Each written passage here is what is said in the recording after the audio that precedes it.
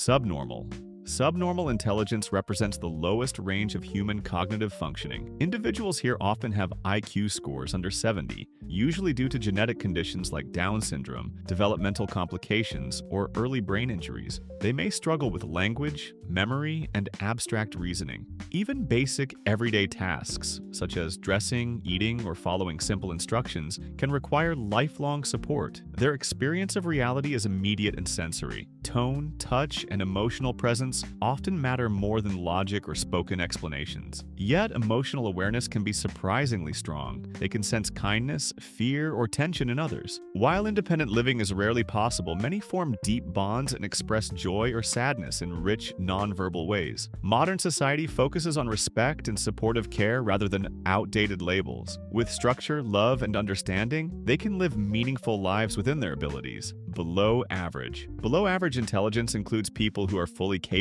of independence, but may struggle with abstract thinking or complex problem solving. Their IQ typically falls between 70 and 85. Academic areas like math, science, and grammar are often challenging, and these individuals learn best through repetition, routine, and hands-on practice rather than theory. They thrive in structured environments and may excel in roles like customer service, caregiving, or manual work. While they might fall behind in formal schooling, many have strong practical or social strengths, loyalty, warmth, and intuition. This level is often underestimated, yet with encouragement and respect, People here can raise families, succeed in their jobs, and contribute to their communities. They shine when valued for their abilities instead of judged for their weaknesses. Average most people fall into the average range, even though many underestimate it. Average intelligence allows for reading, writing, basic math, following rules, and everyday problem solving. People here understand cause and effect, make plans, and learn from mistakes. This is the intelligence that keeps society running. Teachers, drivers, nurses, technicians, small business owners. It's reliable, adaptable, and functional. But there's a subtle trap. This level often feels like the top. People are smart enough to feel confident, but not always aware of what they don't know. They may mistake familiarity for expertise and stop questioning deeper assumptions.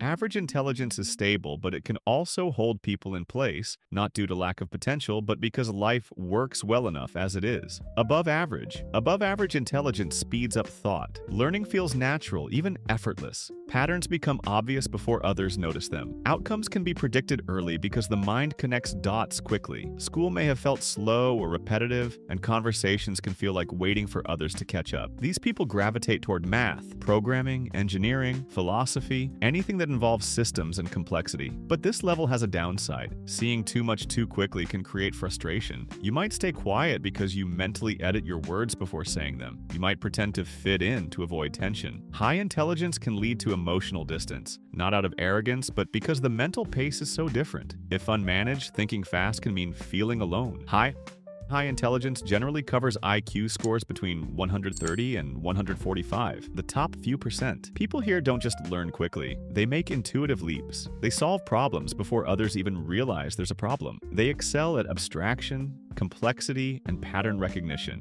They might breeze through advanced schoolwork or independently dive into subjects far beyond their grade level. They often enjoy puzzles, deep conversations, and solitary study. Emotionally, their speed can lead to isolation, especially when young. Their intellectual development outpaces emotional and social environments. With support, they become innovators, scientists, engineers, philosophers, people who expand human understanding. High intelligence isn't just being smart, it's thinking in ways most others never experience. Gifted. Gifted intelligence typically begins around IQ 145 and above, but numbers don't tell the whole story. These individuals think with unusual depth, speed, and originality. As children, they might show extraordinary memory, intense focus, or the ability to link big ideas across different subjects. They may self-teach music, build inventions from scraps, or write mature stories long before high school. They don't just solve problems, they redefine them.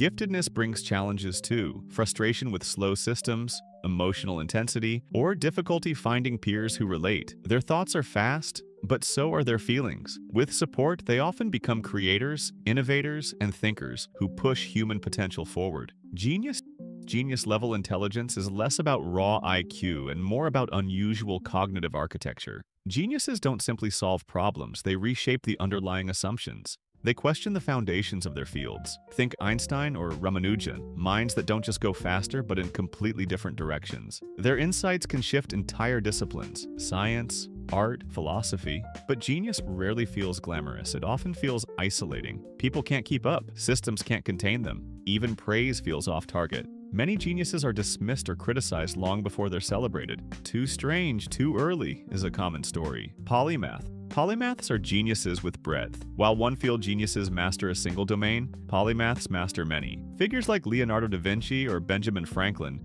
didn't just excel, they integrated art, science, engineering, politics, and creativity into unified understanding. Polymaths don't see boundaries between subjects. They merge ideas, math with music, biology with philosophy, turning knowledge into interconnected systems. This level requires not only high intelligence but discipline, time, and deep curiosity. Polymaths often work for decades, chasing questions no single field can answer. Visionary Visionaries blend genius with foresight and courage. They don't just understand the world, they see what it could become. While polymaths master existing fields, visionaries invent entirely new directions. Their ideas seem unrealistic until they prove transformative. They connect science, society, and imagination in ways others overlook. Visionaries face resistance, rejection, and doubt, but they push forward, driven by belief and boldness.